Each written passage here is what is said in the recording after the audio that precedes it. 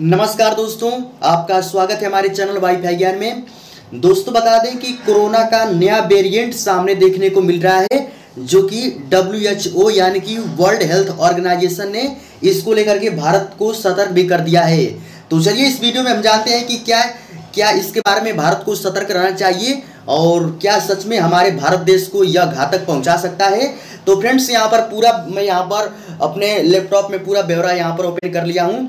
और यहाँ पर साफ़ लिखा गया है कि कोविड का नया वेरिएंट एरिस कितना घातक है और इससे भारत को डरना चाहिए या नहीं डरना चाहिए।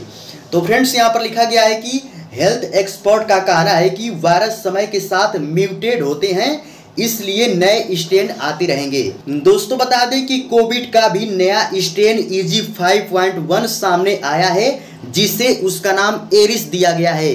दोस्तों बता दें कि डब्ल्यू एच ओ यानी कि वर्ल्ड हेल्थ ऑर्गेनाइजेशन ने निगरानी रखना शुरू कर दिया है और भारत को भी इससे सतर्क रहने की ज़रूरत है। तो आपको बिल्कुल भी सतर्क रहने की ज़रूरत है। दोस्तों बता दें कि सबसे ज़्यादा जहाँ पर यह नया वेरिएंट देखने को मिल रहा है, वो ब्रिटेन देश में देखने को मिल रहा है और हमारे भारत समेत ऐसे 45 देश हैं जहाँ पर इस नए वेरिएंट का खतरा देखने को मिला है।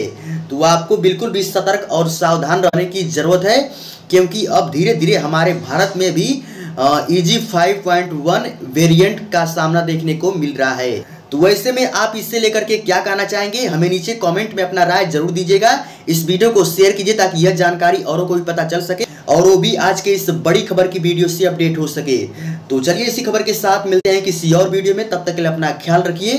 चैनल को आप अभी तक सब्सक्राइब नहीं किए हैं तो चैनल को सब्सक्राइब कर लीजिए। मिलते हैं एक और वीडियो में एक और नई जानकारी के साथ। तब तक के लिए जय हिंद, वंदे मातरम।